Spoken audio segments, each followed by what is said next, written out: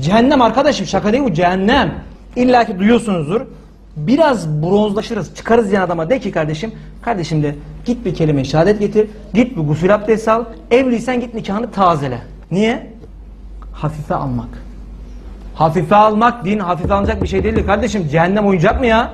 Bu kadar mı hafife alınacak bir şey ya? Ya Hazreti Ömer azap ayeti atından düştü. Üç gün komada kaldı ya.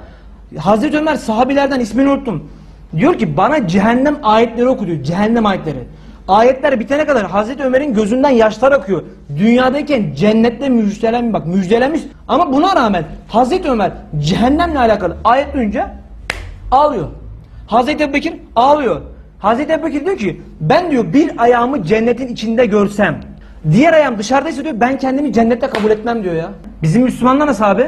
İki rekat namazla Firdevsi alayı aldı. Tapu aldı yani. Tapu Kadastro'dan noterletmiş sanki ya.